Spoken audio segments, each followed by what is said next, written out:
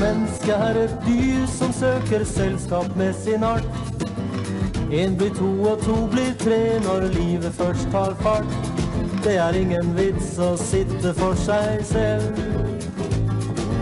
Livet er for kort allikevel. Mange de vil helst ha en å dele livet med. Andre trenger noen fler som de kan snakke med. Og hovedsaken er at folk finnes til. Så du kan fylle huset når du vil. Fra kjøkkenbordet ut, sett kaffen i midten. For Else, Britt og Tor og Kjell og Bitten har sovet her i natt, og nå skal vi ha fin frokost. Te og marmelade, Tor vil ha kaffe, og den kan jammen Tor gå ut for å skaffe. Ellers har vi alt, og nå skal vi ha fin frokost. Tor kan kjøpe Dagblad, mer enn melk og rockefår.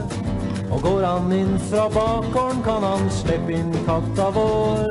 Kan noen se om vannet koker nå? Ei bedre frokost kan vi ikke få.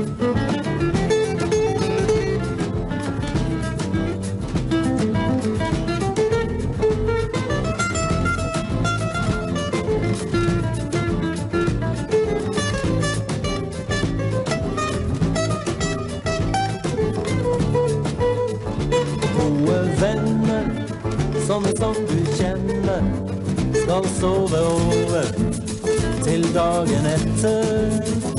Gode venner som du riktig kjenner, og de skal ha en frokost som riktig metter.